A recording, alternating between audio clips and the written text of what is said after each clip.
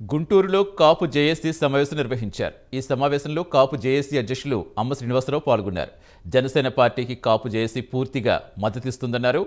రాబోయే రోజుల్లో కాపులు అధికారంలోకి రాబోతున్నారని అన్నారు. పవన్ కళ్యాణ్ ముఖ్యమంత్రిని చేసేందుకు కాపులంతా ఏకం కావాలని పిలుపునిచ్చారు.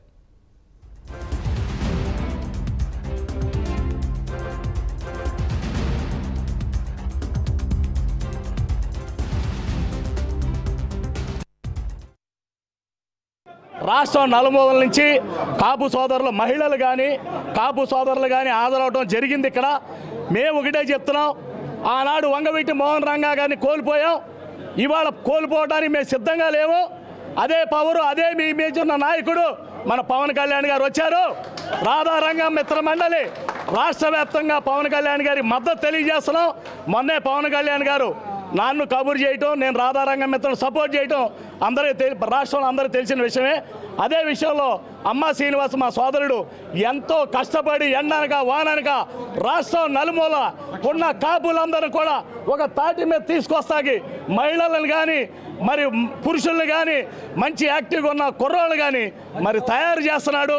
అన్ని చోట్ల కూడా రాష్ట్రం నలుమూల ఇక్కడే కాదు తెలంగాణలో కూడా మన కాపు సోదరుల్ని ఒక సంఘటితంగా తీసుకొచ్చి వాళ్ళకి పదవులు కట్టబెట్టడం కానీ వాళ్ళ ద్వారా కాపు రాజ్యాధికారం ఏ విధంగా సాధించాలనే దాని మీద ఆయన నడుం బిగించి తిరుగుతున్నందుకు రాధారంగ మిత్రమణులు కూడా కాపు చేసి నేను రెండు రాష్ట్రాలకి గౌరవాధ్యక్షుడిగా నన్ను నియమించింది అమ్మ శ్రీనివాస్ గారే.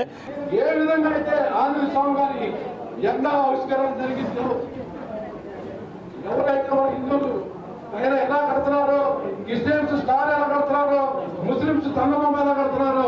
ప్రతి కాపు బిడ్డ కూడా ఈ విధంగా మన ఇంటి మీద జెండా ఎగరాలి. లంచ్. చేసి జెండా ఆవిష్కరణ.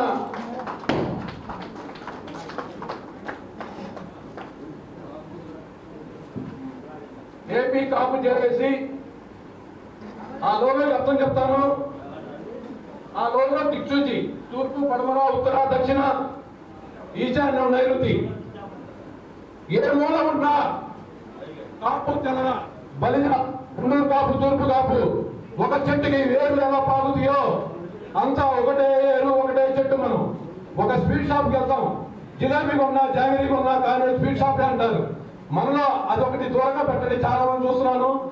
దయచేసి మనందరం కూడా ఒకటే విభజించి పాలించుకోవద్దు. ఈ మూలానికి అందుకే ఆ గుర్తు పెట్టాం మేము. ఏ మూలన ఉన్నాం